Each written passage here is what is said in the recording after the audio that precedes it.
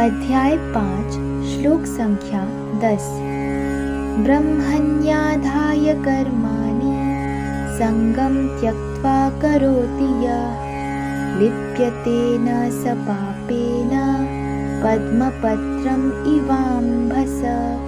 अर्थ ब्रह्मणि भगवान में आधाय समर्पित करके कर्मानि सारे कार्य को संगम आसक्ति त्यक्वा त्याग कर करोति करता है।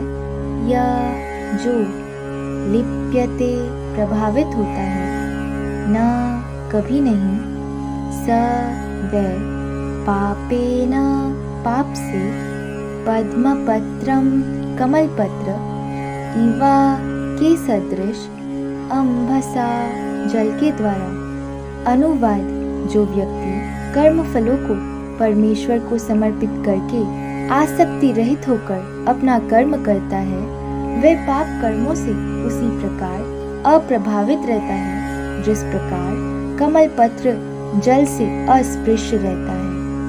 हरे कृष्ण।